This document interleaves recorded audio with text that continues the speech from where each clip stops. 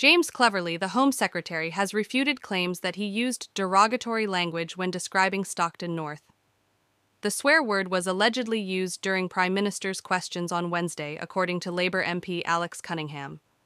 After Mr. Cunningham questioned the Prime Minister regarding child poverty in the constituency, he said, It happened.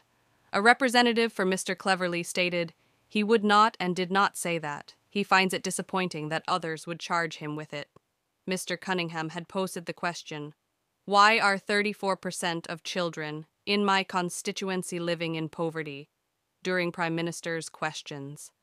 These remarks undoubtedly disgrace the Home Secretary, the Tory party, and this corrupt administration. He is obviously unfit to hold such a position, Mr. Cunningham continued.